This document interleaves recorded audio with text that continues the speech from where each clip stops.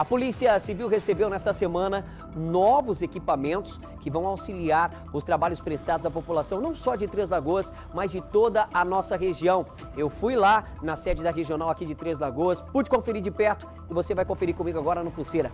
Põe na tela, vamos lá.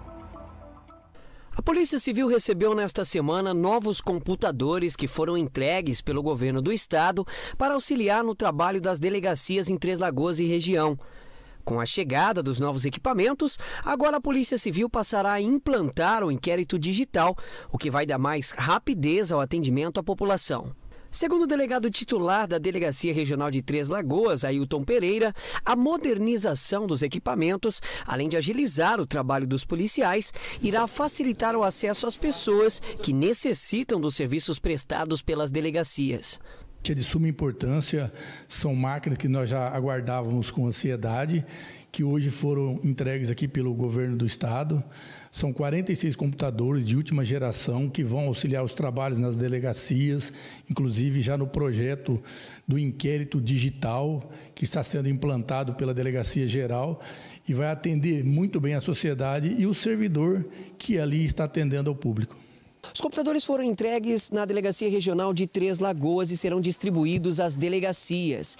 Estes utensílios serão usados para agilizar no trabalho policial e também facilitar na confecção de boletins. Foram entregues seis computadores para a SIG, cinco para a DEPAC, oito para o primeiro DP, cinco para o segundo DP, cinco para o terceiro DP, cinco para a Delegacia de Atendimento à Mulher, cinco para a Água Clara e três para a Selvíria. De acordo com o delegado, além dos computadores, ainda há previsão de entrega de mais 2.500 pistolas que darão mais segurança aos policiais. Há um tempo atrás, a gente via computadores eh, já bem já bem ultrapassados, né?